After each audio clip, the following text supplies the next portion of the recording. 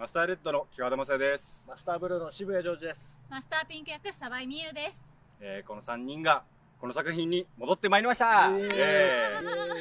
えー東映特撮ファンクラブオリジナル騎士流戦隊竜奏者。マスターズソウルぜひご覧ください